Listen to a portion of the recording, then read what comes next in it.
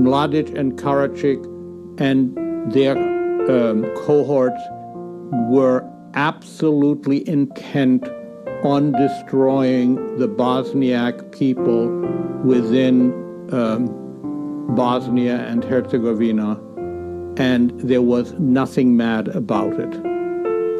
And the same holds true for those in Republika Srpska and elsewhere today who glorify Mladic, who glorify Karadzic, who go out of their way to deny that what happened at Srebrenica was a genocide, and who try to blame the victims.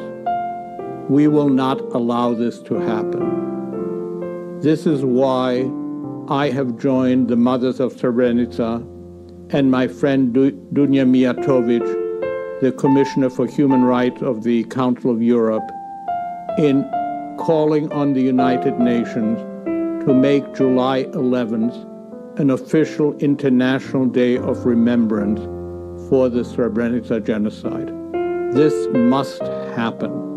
Uh, the commemoration of the genocide cannot and must not be only for the victims and the survivors and their families.